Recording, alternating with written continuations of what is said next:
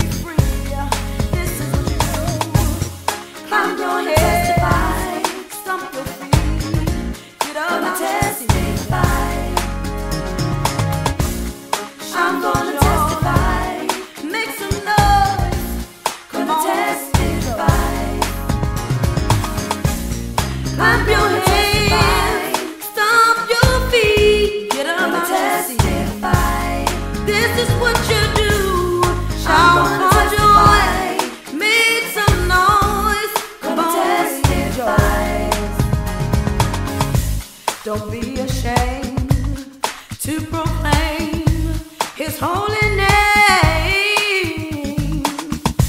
So testify about the